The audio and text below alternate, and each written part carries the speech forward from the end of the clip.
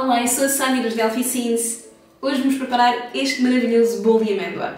Com apenas 5 ingredientes vão ver que vão fazer um bolo que é mesmo de chorar por mais. Vamos lá? Numa taça vamos colocar açúcar branco, amêndoa moída, 3 gemas e 3 ovos. E vamos bater bem por 5 minutos até obter uma mistura homogénea.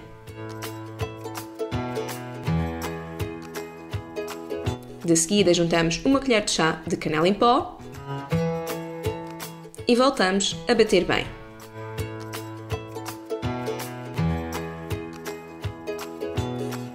Vamos agora juntar farinha de trigo peneirada,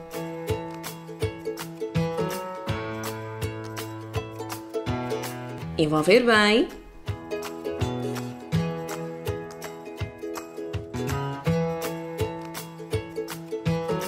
e vamos verter esta massa para uma forma previamente untada.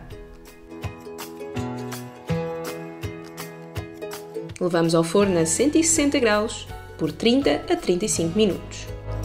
Está na hora de servir o nosso bolo de amêndoa, o qual vamos polvilhar com açúcar em pó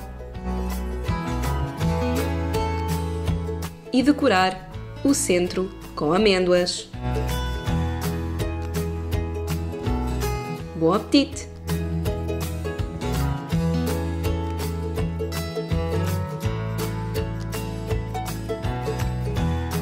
Se gostaram desta receita, não se esqueçam de subscrever o canal para não perder as próximas.